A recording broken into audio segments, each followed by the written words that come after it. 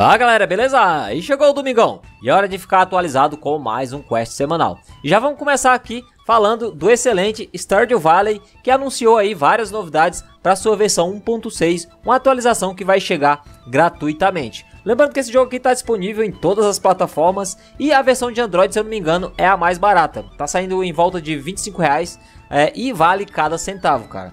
Caso você não conheça, isso aqui é um jogo recomendadíssimo, tá? Porque ele é aquele RPG de simulação onde você, mano, senta, joga, relaxa e esquece da vida, cara. Muito bom. Você entra lá, faz sua fazendinha, cuida dos seus negócios, casa e por aí vai. Tem várias coisas legais lá para estar tá fazendo e é realmente aí algo muito bom. Recomendo demais aí, é, caso você nunca tenha tido nenhum contato com ele. Então é um bom momento aí para quem é, nunca jogou, já ir dando uma olhada, né? Quando chegar essa atualização 1.6, é, você já vai estar tá por dentro aí de como funciona o game, já vai ver aí todas essas novidades. Vou falar aqui para você o que vai chegar aí a respeito dessa versão 1.6. É um novo grande festival, dois festivais menores é, conteúdo extra para todas as áreas de habilidades, novos itens e receitas de criação, é, alternativas de loja para certas missões de fim de jogo, mais de 100 novas é, linhas de diálogos, trajes de frio para todos os aldeões, todos os tipos de é, recompensas de conclusão de missões, suporte para multiplayer com até 8 jogadores no PC, é, novo tipo de fazenda, novos segredos, entre outras adições e ajustes. É uma pena que essa versão aqui ainda não tem aí uma data oficial para o seu lançamento, mas com certeza vai trazer aí é, vários conteúdos bem legais para quem já conhece o jogo e para quem não conhece, né, tá conhecendo agora já vai entender aí é, o que vai entrar de bom com essa nova versão. Então, como eu comentei, Stardew Valley vale muito a pena, cara. Não tem momento bom ou ruim para entrar aí e tá começando a sua jornada lá. Até quem não curte o estilo, eu vi muita gente aí se rendendo a ele é, por conta da sua qualidade. Agora falar aqui do RPG de ação 2D Phantom Blade Executioners. Ele tava aí com é, o seu acesso antecipado, né? Mas se eu não me engano era um beta. E ele anunciou aí a sua data oficial de lançamento, que ficou pro dia 2 de novembro de 2023. O trailer já tá passando aí para vocês darem uma olhadinha. Ele tem uma gameplay bem frenética, né? É, caso você curta aí é, algo no estilo side-scroll assim, com muita ação, esse aqui com certeza é para você. Além dessa ação aí 2D frenética, como vocês estão vendo aí, é, ele conta com uma arte lindíssima, cara. Então ele tem aí parece uma pintura, né, cara? A arte dele, é, ele te, puxa bastante coisa aí da cultura oriental, fora que ele tem uma pegada assim um pouco mais sombria. Então realmente ficou muito lindo. Os caras tiveram um capricho enorme aqui com relação aí a essa parte gráfica e artística. Com relação aí à sua lore, ela se passa em um mundo fantasma que oscila à beira do abismo, enquanto os mestres do Kung Fu ganham um poder inimaginável, sucumbindo à loucura. Sua missão é clara, é acabar com os é, perigos da técnica Shanshin Mode, eliminando a ameaça. Phantom Blade Executioners desdobra uma autêntica história wuxia chinesa, é, apresentada através de episódios e missões secundárias ramificadas. Então, essa aí é o pano de fundo é, com relação ao game. Lembrando que esse jogo vai estar disponível aí em multiplataformas, então ele vai estar é, Android, iOS, PC pela Epic Games e na PlayStation Store. É, eu não tenho a confirmação se ele vai ser é, cross-plataforma, né? Você vai poder pegar a sua conta lá do Android e levar para o PC ou para PlayStation. É, isso aí eu fiquei na dúvida, né? Mas quando lançar a gente tira aí essas dúvidas ou vê qualquer anúncio a respeito deles com relação a isso. Bom, não cheguei a testar, mas o jogo em si parece incrível, né, cara? Quando tiver aí o seu lançamento oficial, a gente dá uma bisoiada. E ele vinha em multiplataforma, com certeza é outra coisa que chama bastante atenção muito interessante da parte deles. É, já vi nessa pegada. Os, os caras estão comendo bola, cara. Todo mundo que tá lançando jogo para Android aí já devia vir, no mínimo, com versão para PC. É, qualquer jogo que tá vindo sem isso aí, pra mim, já tá comendo bola, entendeu? Porque é, faz muita diferença, tanto pra galera que, que joga, que streama, a galera que gosta de jogar no PC, né?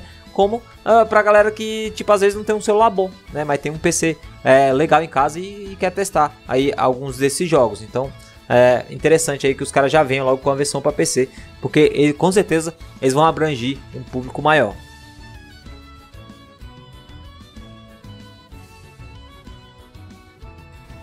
E o Gacha RPG Final Fantasy VII Evercrise é, anunciou aí é, uma excelente notícia com relação à sua versão de PC que vai chegar via Steam. Infelizmente ainda não tem uma data oficial aí para esse lançamento, mas é algo que eu acabei de comentar, né? É, todos os jogos já deveriam vir aí com a versão de PC. Pô, muita gente reclama disso aí hoje em dia, porque ah, muita gente que joga no celular, às vezes chega em casa vai jogar no PC, cara, porque é mais confortável ali, dependendo do jogo, ou até mesmo para deixar rodando, farmando e por aí vai, cara. Então tem várias vantagens aí. É, a questão da relação de é, versão de PC é tanto para a galera ficar mais tempo conectada, né, como para abranger aí mais o seu público. E com relação a essa versão de PC aqui do Final Fantasy, é, eu adorei que eles anunciaram que ele vai ter aí o crossplay. Então, se você tem a sua continha lá no celular, você vai poder carregar ela para a versão de PC. Isso aqui é excelente. Alguns jogos vacilam quando fazem isso, né? Lança a versão de PC, não tem o crossplay. Aí a galera tem que começar do zero na versão de PC. Isso aí é um tremendo um tiro no pé, né? O último que fez essa cagada que eu lembro foi o Ragnarok Lost Memories, que lançou a versão de PC e não tinha aí o crossplay. É, além disso, eles também é, já lançaram aí é, o capítulo 5, né? É, trazendo o Young Sephiroth, né? Muita gente tava esperando aí para ver é, o Sephiroth quando era mais novo, soldado, pegar essa parte aí da história. Então o jogo tá bombando, né, cara? É, pa, a última vez que eu vi eles estavam comemorando, acho que era 6 ou era 7 milhões de download. Daqui a pouco bate 10 aí, fácil, porque é, ele tá com uma qualidade muito boa. Esse aqui com certeza é um dos melhores gachas aí da, da Square. Eu joguei praticamente todos. É, não seriamente, né? Assim, joguei firme todos, mas alguns eu joguei bastante tempo, como foi o caso do Opera Omnia. E a Square, cara, pra mim ela é muito generosa. Com relação a recursos, ela quer que você jogue, mano. Ela vai te dar uma porrada de recursos, energia e tal.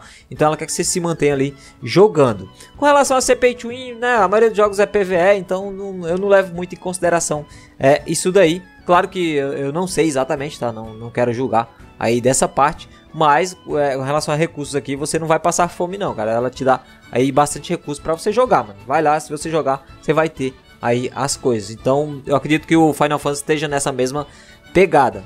Já, é, ela sempre foi muito generosa aí, pelo menos nos seus gatos anteriores que eu joguei. E esse aqui eu só não tô jogando por falta de tempo, tá? É, eu fico chateado porque assim, eu acho que eu poderia estar tá jogando mais ele se ele tivesse vindo em português, tá? Uma localizaçãozinha seria legal. Aí, até pro conteúdo do canal. Eu sei que muito BR deixa de jogar aí só por conta disso, né? É, eu sou muito fã de Final Fantasy, mas é, pra mim pegar algo para jogar sério, eu tenho que estar tá gravando, saca? Eu tenho que estar tá trazendo conteúdo a respeito daquele jogo.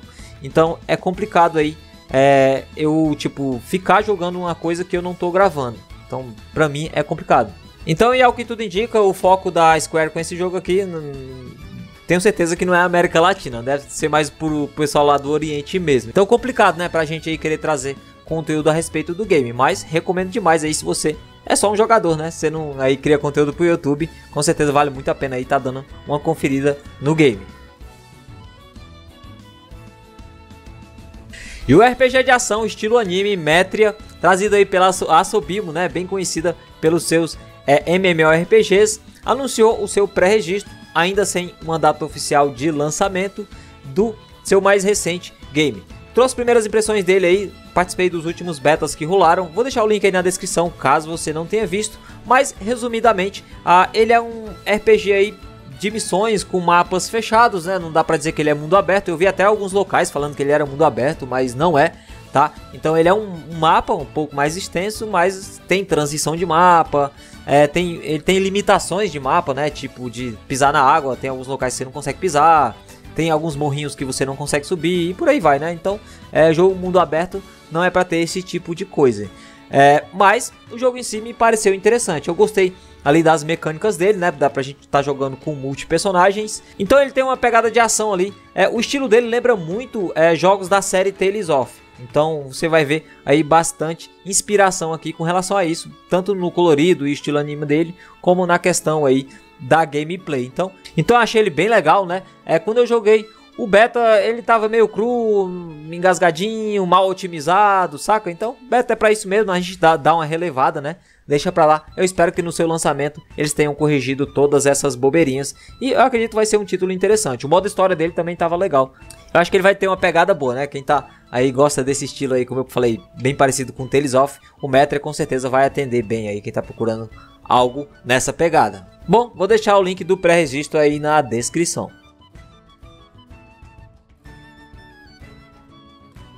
E agora vamos lá para a notícia bosta da semana, né? E ele voltou mais uma vez aqui é como o cocôzinho da semana, o Devil May Cry Peak of Combat. É, esse jogo já apareceu aqui outras vezes por conta aí é, do, disso que eles fazem, cara. É muito chato porque eles vivem fazendo é, anúncios, né? Ah, vai lançar o novo beta. Ah, agora é o beta aberto por não sei quantos meses. Ah, agora todo mundo pode participar do beta.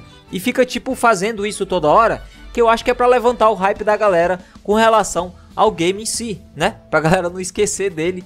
E isso aí, não, pra mim, não tá fermentando hype, tá? É criando ódio, porque a galera tá puta porque cria logo o lançamento do negócio e fica nessa encheção de linguiça dos infernos, né? Porque ao que tudo indica, o jogo tá pronto. eles estão aí só é, enrolando cada vez mais. O que é que eles anunciaram dessa vez? Anunciaram o pré-registro aí pro seu lançamento final. Nossa, agora sim, hein? Agora vai. então, dessa vez aí, é, vai ser o seu lançamento. Mas calma que eu ainda não terminei de soltar o barro aqui. Pera aí que a merda ainda vai feder. É, eles não deram nenhuma data oficial. Ele tá prometido pro final do ano, né? Mas eles continuam sem dar a porcaria da data de lançamento, cara. Porra, mano, na moral. É, tipo, é normal, né, as empresas não anunciarem uma data oficial, mas esse aqui depois de tanto beta, tanta enrolação, tanta é, divulgação, né? Aí o cara me vem, ah, agora sim, agora pré-registro para a versão final. Mas quando que é a versão final? não tem a data oficial, cara. Que negócio chato, meu. E o pior de tudo é que o jogo parece interessante. Ele é baseado aí no Devil May Cry que eu mais gosto, que é o Devil May Cry 3 da versão de PS2. Não que é baseado, né? Mas lembra bastante ele ali. É, e o jogo em si parece que tem aí é, algumas coisas bem legais com relação aí, tipo, tanto é, a quantidade de personagens jogáveis, armas, o combate em si também lembra bastante ali a versão de PS2, então parece que tá tudo muito bem encaixadinho. E ao que tudo indica, o jogo é bom, tá? É, não me aprofundei nele, não consigo é, dizer aí os detalhes com relação à administração, gastos em loja, esse tipo de coisa, mas é, parece que tá muito interessante. Bom, vamos ver se ele vai ter esse hype aí no seu lançamento, né? Porque eu tenho certeza que muita gente já tá de saco cheio de ouvir o nome e o jogo não lançar nunca. Bom, galera, basicamente é isso aí. Espero que vocês tenham gostado demais desse quest semanal. Deixa aquele like, compartilha esse vídeo, deixe seus comentários, porque aqui você ganha muito mais XP. Muito obrigado a todos e valeu!